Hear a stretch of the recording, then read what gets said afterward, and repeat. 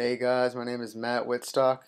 I met Isiejah back in the winter of 2012. I sought him out to work on just mass gain and strength gain. Uh, Isiejah really helped me um, reach my goals. I worked with him only for four weeks, but it was just a really tough four weeks. I did a lot of exercises and stretches that I'd never done before.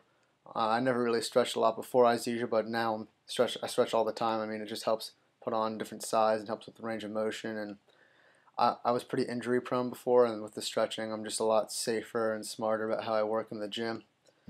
And uh, with other Isiejah's techniques, I just really worked on different muscle groups that I'd never worked on before. I got a lot more cut up. I lost some fat, gained some lean muscle, which was great.